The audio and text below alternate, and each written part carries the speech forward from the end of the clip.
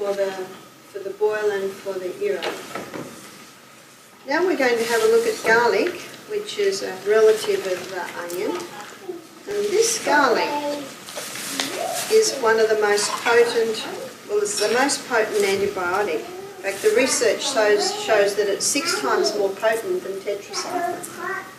To take it as an antibiotic, you would need to take three to four raw cloves a day. Now, not, not everyone can handle that. Some people can't handle the raw garlic very well because uh, it's very high in sulfur. So if someone has a stomach ulcer, it could um, burn it a little bit. But if you have a bowl of hot soup and crush the garlic straight into the hot soup minutes before you eat it, that will take the edge off. And because it's been eaten with soup that's got veggies and maybe some lentils in it, the stomach can often handle that a little bit better.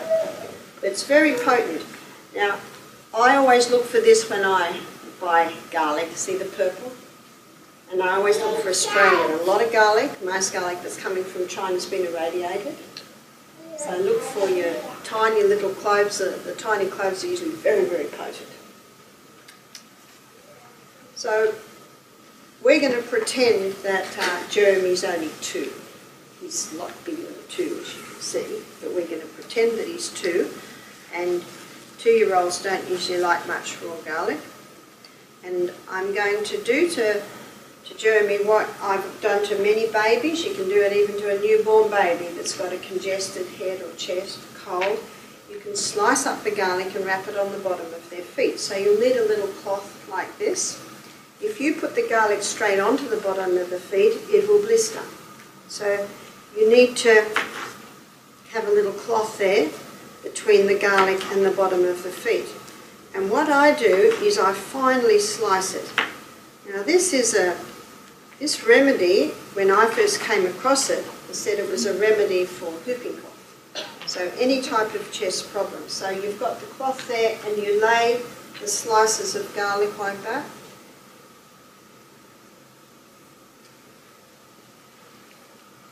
Three, maybe if it's a little baby, you'd only put two there. And then you put the cloth over it like that. So you've got cloth between the garlic and the child's foot. I have done it many times and it will never blister if you do it like that. So we're going to put it on Jeremy's foot.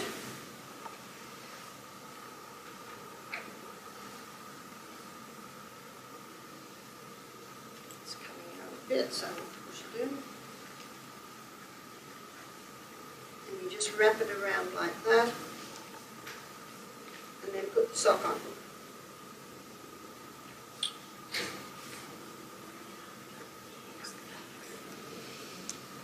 So that's it. That's very easy, isn't it? And if it's a little baby, then you put put a booty over it, and that will hold it in place. You do it with both feet. Yes, you do, mm. both feet. Now it takes one minute for one drop of blood to go around the whole body. So within, Jeremy mightn't mind if you come and smell his breath. Sorry, just joking. But you will find that within a couple of minutes, Jeremy's breath will smell of garlic. Now, what will that garlic on the bottom of the feet do? The, the feet are a reflex for the head, the chest, and the abdomen. So, if Jeremy had a chest cold, that uh, the blood would take the garlic to the chest. Psalm 104, verse 14, the Bible says God gave herbs for the service of man. Medicine calls it synergism. So the herbs work with the needs of the body. So the body knows what to do. It says, oh good, we've got some garlic. We need it right here. Or we need it right here, or right here. and so that's an easy way to get garlic into, into a child. So you can do it overnight. I know my son James often used to have a chesty cold and I would wrap it on his feet and he'd run outside to play. You know, every step he's taking, there's a little bit more garlic going in. Now, if I were to crush that garlic, the juice would come out too fast, even with the cloth there, and could harm the bottom of the feet. But the beauty of the slices is that just little by little by little it gets taken into the body.